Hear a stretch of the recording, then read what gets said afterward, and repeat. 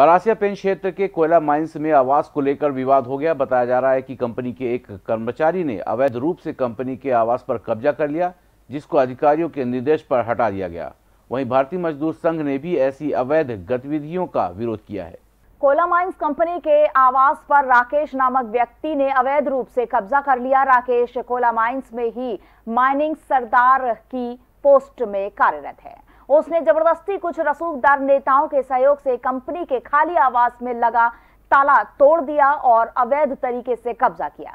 Company के उच्च अधिकारियों को जानकारी लगते ही उन्होंने राकेश के आवास खाली करा लिया। अवैध गतिविधियों को लेकर भारतीय मजदूर संघ यूनियन के महामंत्री कुंवर सिंह ने भी इसका विरोध किया और कहा कि जिस नेता ने भी ऐसी गतिविधियों का सपोर्ट किया है, वह बहुत ही निंदनीय है। अगर कोई भी कंपनी के आवास पर अवैध रूप से कब्जा करेगा तो उसका घोर विरोध किया जाएगा। है कि प्रबंधन के कब्जे में एक आवास था, जिसमें सिक्योरिटी गार्ड पेंच एरिया के वहाँ पर तैनात थे। किंतु कुछ असामाजिक तत्वों द्वारा उसमें अनाधिकृत रूप से सिक्योरिटी गार्ड को चमका करके, धमका करके उसमें परसों रात को 10 बजे कब्जा किया गया।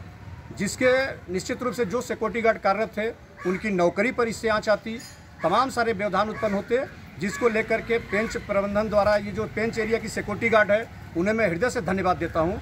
उन्होंने अपनी ताकत और अधिकार को पहचाना है और पहचान करके जो कार्य इन्होंने किया है, उसके लिए मैं कोटि कोटि सिक्योरिटी गार्ड पेंच क्षेत्र को धन्यवाद देता हूँ और महाप्रबंधक को भी धन्यवाद देता हूँ। और अपेक्षा करता हूँ कि ऐसा कृत्य जो लोग कर रहे हैं वह इससे सबक लें और किसी भी कंपनी आवास में किसी प्रकार का कोई ताला तोड़कर या अनधिकृत रूप से कब्जा करने की प्रक्रिया बंद करें। से आपका ब्राइट फ्यूचर बुला रहा है। From L N C T university providing practical exposure for engineering management pharmacy medical agriculture science paramedical law and many more visit L N C T U dot A C dot in संगीत की स्वर लहरियों से सांस्कृतिक ताने बाने तक चंबल के पीड़ों से नक्सलवादियों के गढ़ तक झोपड़ी से महलों तक ठेलों से मेलों तक पगडंडियों से सड़कों तक गाँव से शहरों तक व्यापार से उद्योगों तक। राजनीति से कूटनीति तक। दखन न्यूज़। आपके हक